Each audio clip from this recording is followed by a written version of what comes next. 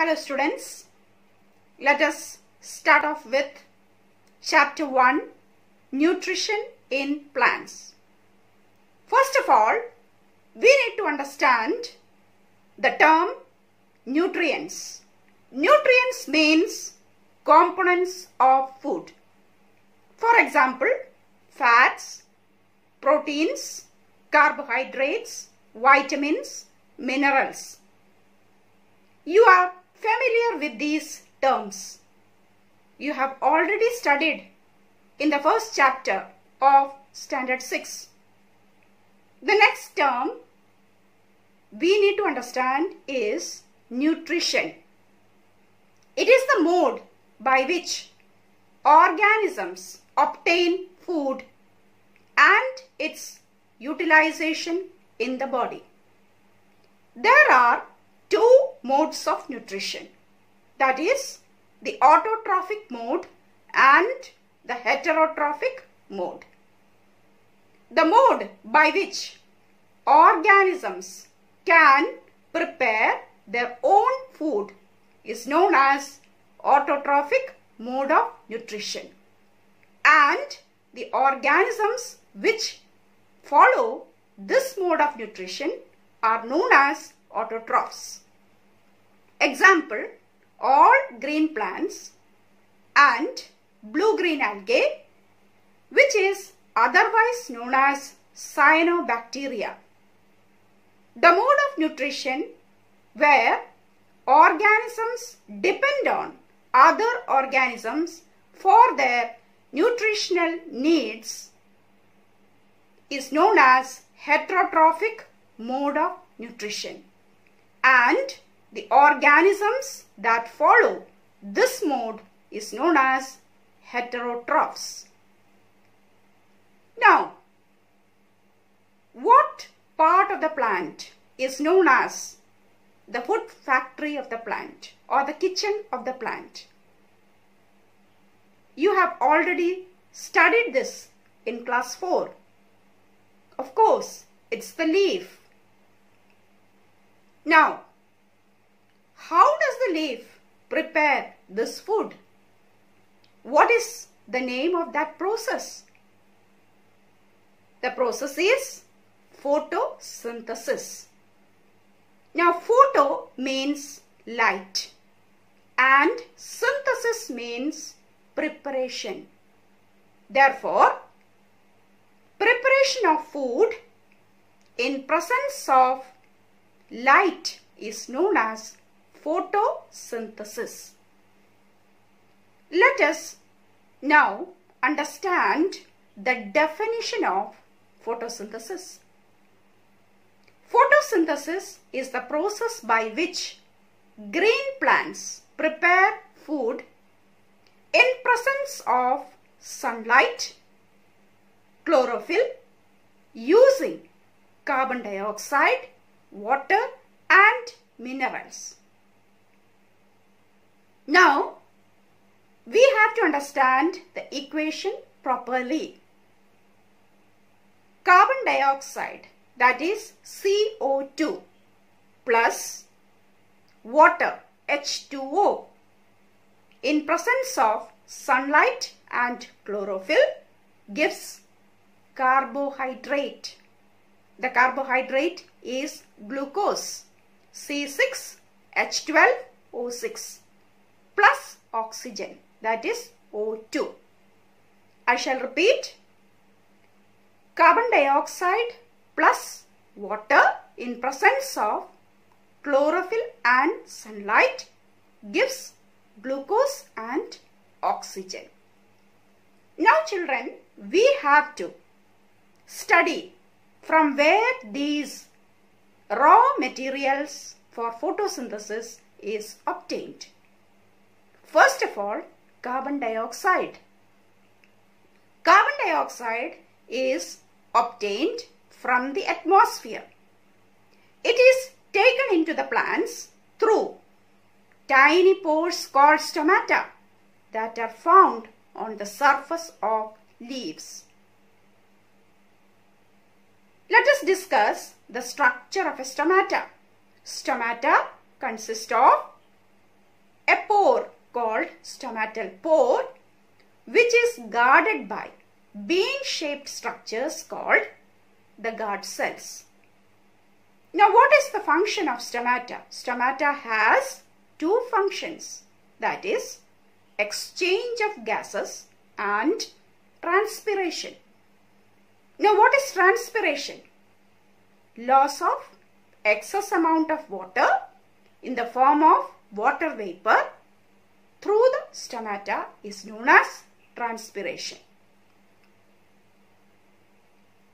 And the guard cells help to regulate the opening and closing of the stomatal pore. Thus now we have understood how carbon dioxide is obtained by the plants. Next, water and minerals. Water and minerals are found in the soil. Roots that are present in the soil absorb the water and minerals and take it to the leaves through long tubes known as xylem. Sun is the ultimate source of energy. This solar energy is captured by the cell organelle known as chloroplast which contain the green coloring pigment chlorophyll. Now thus utilizing sunlight, chlorophyll, carbon dioxide, water and minerals, glucose is prepared. Now this glucose is stored in the form of starch. Now where is it stored? It is stored in storage organs such as fruits, seeds, roots, etc. Oxygen is also emitted. Now this oxygen is given out through the stomata back into the atmosphere and this oxygen is in turn utilized by the animals for breathing. Now, not only leaves, other green plants, green parts, not plants, other green parts can also perform photosynthesis such as green stems, branches, etc. Then how does photosynthesis occur in desert plants? In desert plants, the leaves are reduced to spines. This is to reduce the rate of transpiration. You know that in deserts, the temperatures are very high and there is scarcity of water. Therefore, the plants need to reduce the rate of transpiration. So, the function of leaf is taken up by the stem. The stem gets flattened. It is thick and green in color. Therefore, photosynthesis in desert plants is performed by the green flattened thick stem. Now what is a cell? Cell is the basic unit of life.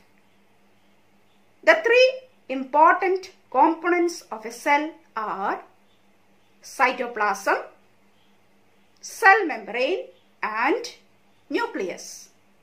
The cell membrane is the outermost covering of a cell. Within the cell membrane is present the jelly-like substance called cytoplasm. And in the center is a spherical structure known as nucleus. Let us now discuss activity 1.1. We need to take two potted plants and label them as A and B. Pot A, we have to keep it in sunlight and pot B in darkness. Both the plants we need to keep as such for 72 hours. After 72 hours, we have to pluck a leaf from pot A and pot B. And then perform the iodine test. We see that the leaf from pot A changes color and becomes blue-black. This indicates the presence of starch. That means photosynthesis has occurred. The leaf from pot B does not show any color change. This is because starch is absent. That means photosynthesis has not occurred. So, what can we conclude children? The conclusion is sunlight is necessary for photosynthesis. Only if photosynthesis happens, starch is produced. Children, have you seen colored leaves or variegated leaves? Variegated leaves means leaves with many colors. You have seen so many leaves that are spotted, white, yellow, red, brown, etc. You cannot see the green color prominently there. Do you think these plants can perform photosynthesis? Of course. Occurs in these plants. The only thing is that these pigments which are more prominent mask chlorophyll. And because chlorophyll is present, they can perform photosynthesis. Then what are algae? Often you might have noticed whenever you have seen a pond or a puddle of stagnant water, you might have seen that uh, water is green in color. What is this green colored substance? They are slimy green patches. These slimy green patches that are found in stagnant water or ponds etc. are known as algae. And since they are green in color, they are also able to perform photosynthesis. With that, we have come to end of today's session. Thank you.